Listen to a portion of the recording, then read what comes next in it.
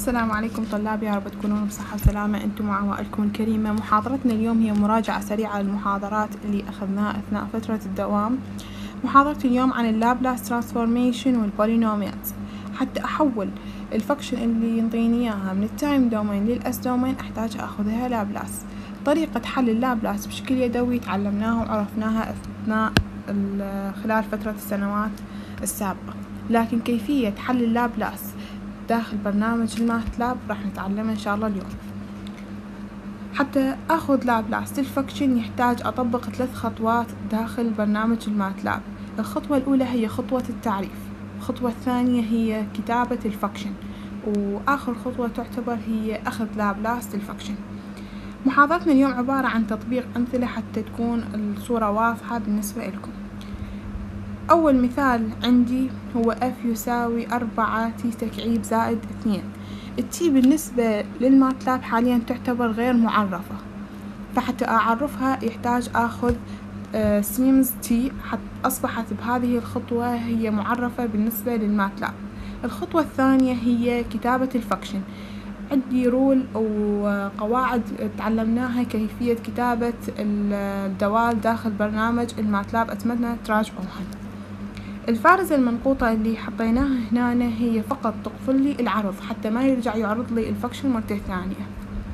الخطوة الثالثة هنا راح ناخذ لابلاس ال function اللي أريد أحولها.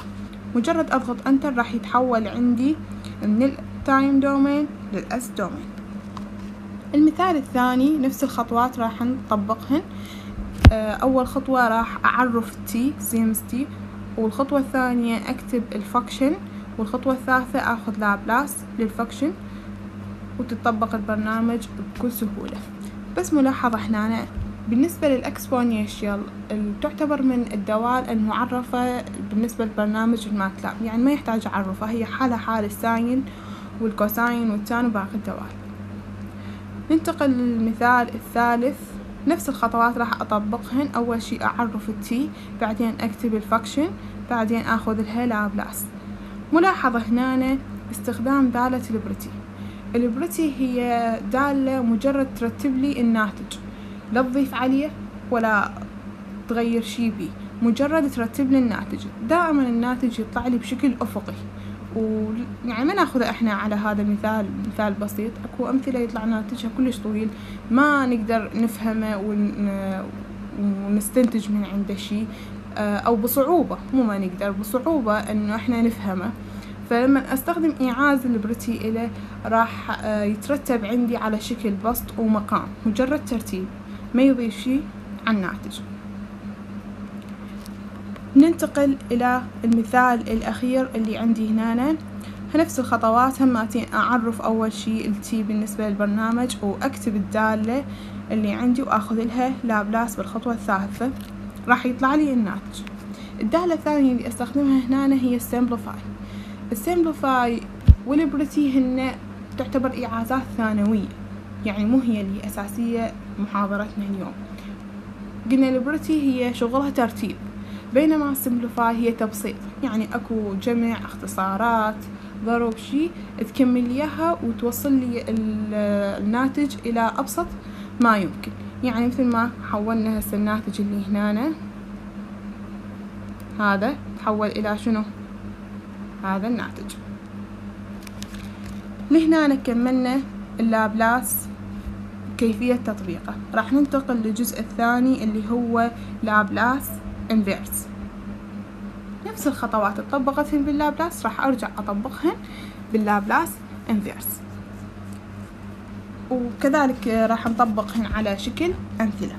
أول مثال عندي هو find inverse Laplace transformation of f لل s الدالة اللي مطيني إياها هنا رايد أحولها لل inverse Laplace نفس الخطوات راح أول شي أعرف هنا أنا معرفة ال s وال t إذا عرفنا فقط ال s هم صحيح. تمام؟ الخطوة الثانية هي كتابة ال function الخطوة الثالثة آخذ inverse Laplace لل function حرف ال t هنا الموجود يعني أنا جاي أأكد أقول له أريد الناتج بدلالة التي بس أقدر أغيره يعني مو شرط بدلالة التي أقدر أخذه بدلالة الإكس يكون عندي الناتج. أقدر أي حرف ثاني أختاره. خاف يعني هسه مثال عندي ثاني. آه، أختار يعني أطلب من عندكم إنه ما أريد الناتج بدلالة التي أريده بدلالة حرف ثاني نضغط enter راح ياخذ لي. عفوا راح مثال هذا مجرد إنه أضغط enter راح يطلع لي الناتج محول لل time domain المثال الثاني اللي عندي find inverse Laplace of ال f نفس الخطوات. أعرف أول شي ال s بعدين اكتب ال function بعدين أخذ لها inverse Laplace. كذلك المثال الثالث. نفس الخطوات. هنا شنو طالبة؟ طالبته بدلالة الناتج يكون بدلالة ال x فحتى يكون عندي الناتج أول شي لازم أعرف ال x بالبداية. يعني أعرف الإس وأعرف الإكس بعدين أكتب ال function بعدين أخذ inverse Laplace لل function وأكتب فاصلة x حتى يعرف إنه أنا رايدة الناتج بدلالة ال X وهاي شوفوا شلون الناتج. طلع عندي بدلالة ال X. لهنا انتهى الجزء الأول من محاضرتنا اللي هو كيفية أخذ ال Laplace وال inverse Laplace لل function الجزء الثاني من المحاضرة هو ال polynomial representation القاعدة أو الصيغة العامة لل polynomial representation هذه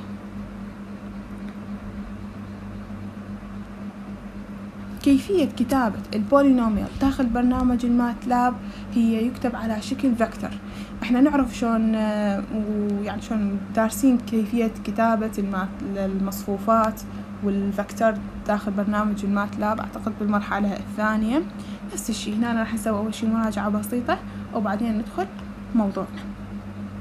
هنا المثال اللي عندي منطي A لل X ومنطيني دالة هاي الدالة حتى أكتبها.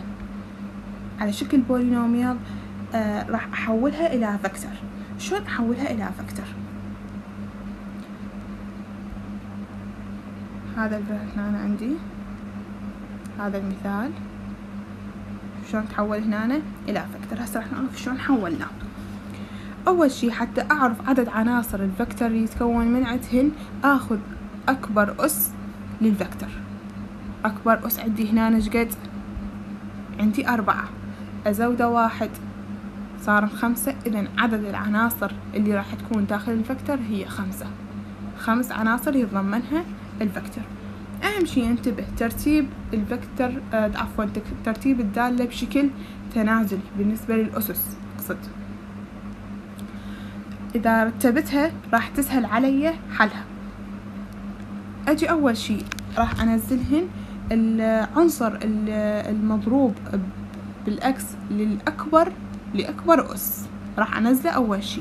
أخذ اثنين المضروبة بالأكس أس أربعة أنزلها أول عنصر بالفكتور العنصر الثاني هو الخمسة.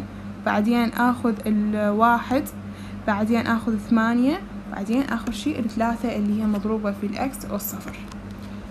أحطهن بين أقواس مربعة وبيناتهم فوارز أو شلون فراغ نترك بين كل عنصر وعنصر.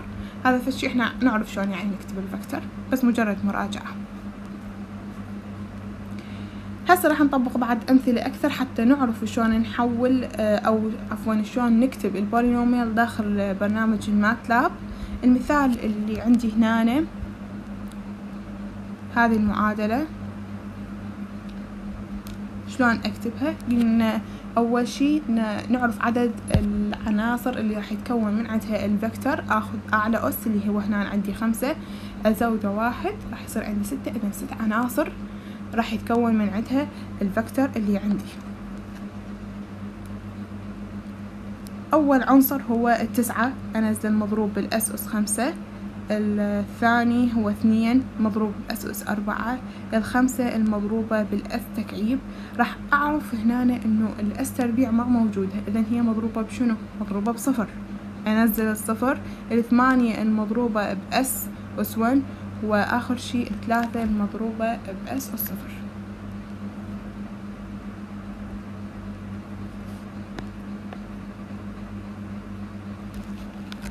هسه بعد ما تعلمنا شلون نكتب ال polynomial أو ال function داخل برنامج ال MATLAB راح أطبق عليها عدة إيعازات.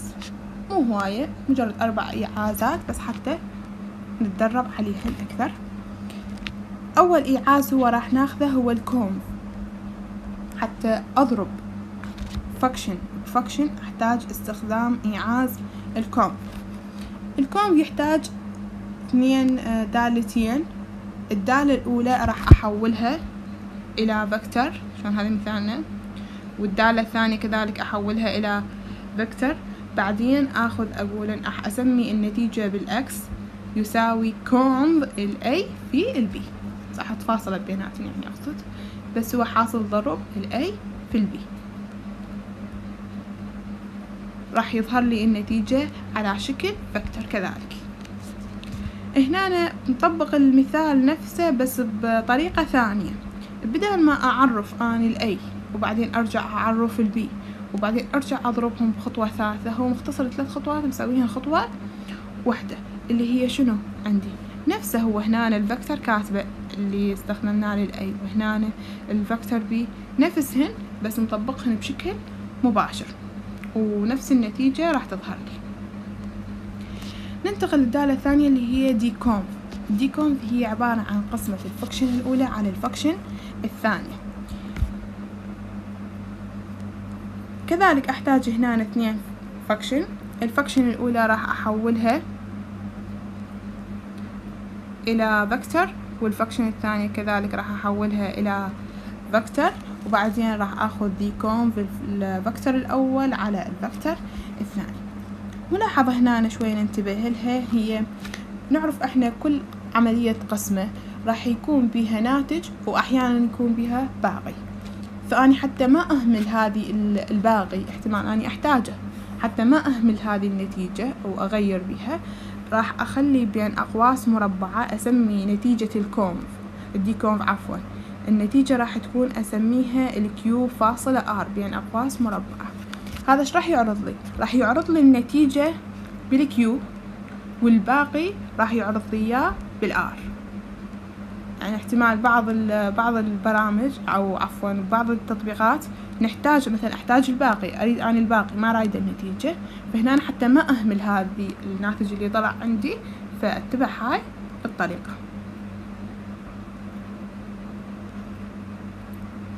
ننتقل للإيعاز الثالث واللي هو ال root. ال root هو لما ينطيني function ويريد جذوره. شلون إحنا كنا لما ناخذ المعادلة ونفتحها بالتجربة أو تفرق بين مربعين أو بعد طرق حل ثانية نفس الطريقة هنا حتى يعطيني ال function ويريد الجذور لهذه الدالة أستخدم إيعاز ال root. وهنا أنا مطبقينه. عندي هذا المثال. منطيني s تربيع زائد اثنين s زائد واحد. راح أحوله إلى vector بعدين آخذ root لهذا ال vector راح تطلع لي النتيجة. ال poly هو إيعاز يشتغل عكس ال root يعني هناك مو كان يعطيني ال function أطلع الجذور لا هنا أنطيه الجذور يرجع لي ال function الأساسية مثل ما عندي هنا بالمثال منطيني هنا منطيني اثنين آه، جذرين. يعني ال s هنا اذا s زائد واحد s زائد واحد معناتها ال s إيش قد قيمتها هنا سالب واحد. حتى اساويها للصفر واطلعها راح تساوي لي سالب واحد قيمتها.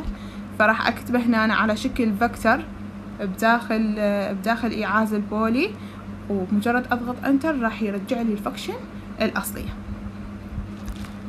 بعد نطبق شكل مثال عندنا. عفوا. المثال هنا مثالين أخيرات هنا همتين كيفية استخدام إيعاز ال poly نفس الطريقة هنا مطبقينها مجرد أمثلة وأتمنى تحلوها يعني أكثر من مرة بإيديكم تطبقون بالبرنامج حتى إذا أكو إشكال يعني أو يعني فد إيعاز يوقف أو شي إن شاء الله حل هذه المشكلة. بس ملاحظة هنا مستخدم إيعازين بوقت واحد. شلون وليش؟ أول شي ليش؟ لأن هنا أنا, أنا قلت لما أريد أستخدم إيعاز البولي أحتاج جذور.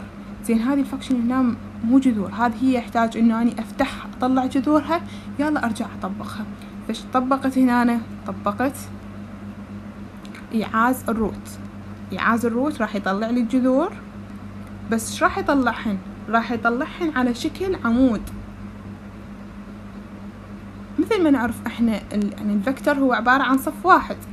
هذا راح يطلع لي الناتج على شكل عمود واحد. أنا شو استخدمت هنا أنا؟ هذه الكما هذه الكما وظيفتها تقلب لي العمود إلى صف. إذا انقلب إلى صف أعتبر شنو؟ فكتور عندي. مجرد ملاحظات وشوي شوية بتطبيق الأمثلة راح يكون إن شاء الله سهل عليكم. وإحنا انطينا واجبات ودرجاتكم موجودة. إن شاء الله أسلمكم إياها.